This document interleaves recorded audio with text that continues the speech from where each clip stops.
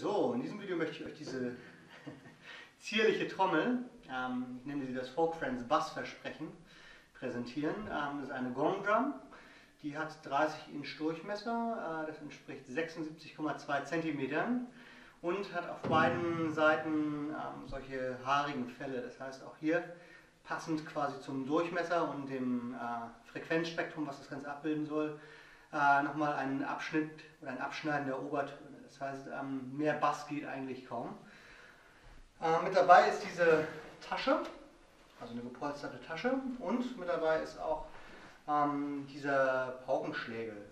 Und äh, das Tolle ist sozusagen an diesen Schlägeln halt, dass der halt auch ganz weich ist und ähm, man hört tatsächlich einen Unterschied, wenn man dieses äh, sehr große Instrument mit einem harten Schlägel spielt oder mit so einem weichen. Also hier quasi, wenn wir dieses haarige Fell mit diesem weichen Schlägel kombinieren, äh, bleibt wirklich kein Oberton mehr übrig.